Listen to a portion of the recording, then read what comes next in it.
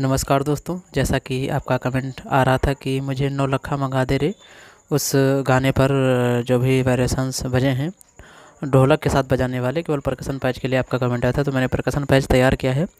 और इसमें जो भी वेरिएशन बजे हैं, हम सभी की प्लेइंग बारी बारी से देखेंगे। बस ये काम करना है कि हम वीडियो स्किप नहीं करेंगे, पूरा देखेंगे, तभी हम सभी को अच्छे से जो है प्लेइंग और वो एडिटिंग हमें जो है मिल जाएगी। तो आइए हम सबसे पहले इसमें जो पहला सिंपल टाइप बजता है, बड़ा बिग तो देखिए ये। तो इसको आपको स्टार्ट में बीट करना जब हम सभी गाने को सुनेंगे तो आपको अनुभव होगा ये जो है आपका इस बॉक्स में लगा हुआ है।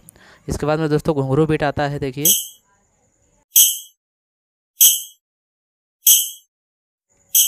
फिर इस घुंघरू बीट के बाद आपका जो है दूसरा मतलब सेकंड रोल घुंघरू आता है। उसके लिए मैंने दूसरा जो है एल सत्ताईस का यूज़ किया है इसमें। तो आपको कैसे इसमें बीट करना है, ये देखिए। तो इसके बाद अब रिदम स्टार्ट होता है, जो कि वेस्टर्न टाइप में बजता है। वेस्टर्न टाइप में तो वो मैंने इसको पूरा बनाया है, जो भी बजता है, मैंने प्रयास किया है। देखिए दोस्तों, आपका पहला वर्सन घुंघरू के बीट के बाद ये ऐसा कुछ बजेगा। देखिए दोस्तों।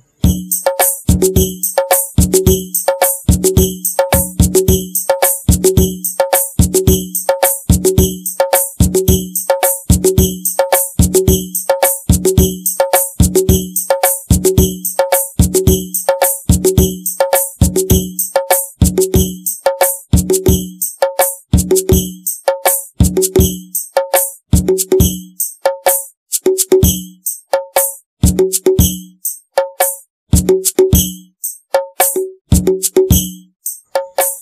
आइए अब हम इसकी प्लेइंग देख लेते हैं अलग अलग हाथों की, ताकि हम सभी को प्लेइंग करने में आसानी रहे कि लेफ़्ट और राइट वाला सिस्टम ना रहे, कि आप लेफ़्ट से बजाते हैं, हम राइट से बजाते हैं। देखिए दोस्तों, एक एक हाथ की प्लेइंग सीख लीजिए, दोनों हाथ से बजाते बन जाएगा। देखिए दोस्तों।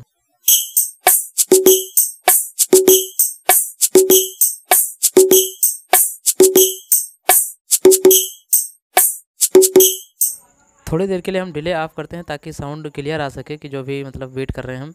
देखिए दोस्तों।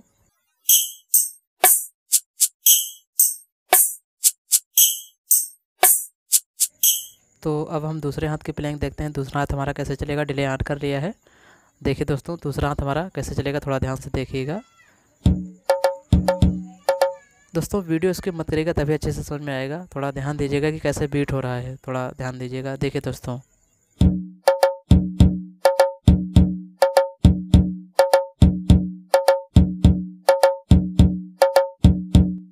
अब हम एक बार फिर दोनों हाथों को साथ में चला कर लेते हैं मतलब बीट कर लेते हैं।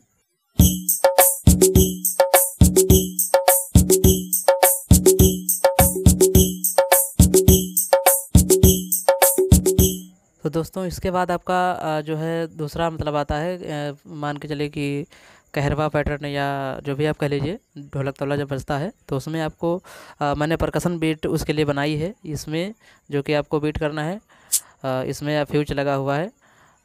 कवासा कह सकते हैं या चौक कह सकते हैं और इसको बीट करना। देखिए दोस्तों, कैसे?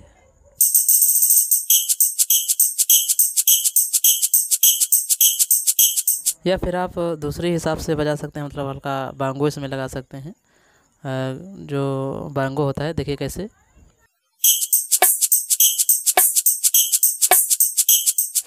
दोस्तों, ये मत समझिएगा कि ये पैच कुछ समझ में नहीं आ रहा है। ये परकसन पैच है मतलब ढोलक तबला के साथ बजाने के लिए। इसे मैंने कवर नहीं किया क्योंकि कवर करने में जो है टाइम ज़्यादा लगता है और पैच काफ़ी सारे बनाने भी हैं। तो इसलिए मैंने इसमें कवर नहीं किया इसको ढोलक तबला के साथ। आपको मोड़ देना है इसमें कैसे? इसमें आपको मोड़ देना है। कोई भी मतलब मोड़ आएगा कोई भी तो घुंघरू में आपको इसमें रोल करना है, इसमें बीट करना है। और जो है इसके बाद आपका जो भी पैटर्न बजेगा या आप जो है डफली इसमें जो बजेगी, जो डफ का बीट आता है, अगला पैटर्न डफ का बीट इसमें आता है तो डफ के लिए मैंने कई पैच अपलोड किए हैं। एक देख लीजिए कैसे बीट करना है।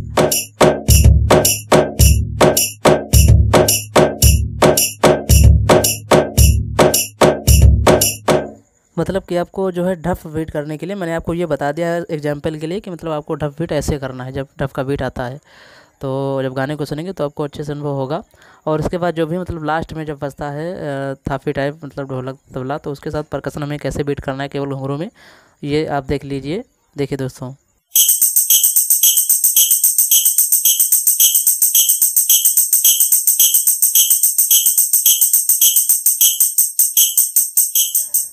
तो उम्मीद है दोस्तों कि प्लेइंग हम सभी को समझ में आई होगी और जो भी इसमें डफ फ़ीड बचता है तो मैंने डफली पैच कई भी, कई सारे अपलोड कर दिए हैं डफली पैच आप वहाँ से बना लीजिएगा डफली का पैच या बने होंगे आपके पास, उसी में आप बजा लीजिएगा दूसरा पैटर्न तो उम्मीद है दोस्तों पैस आपको समझ में आया होगा। तो चलिए दोस्तों, तब तक के लिए नमस्कार।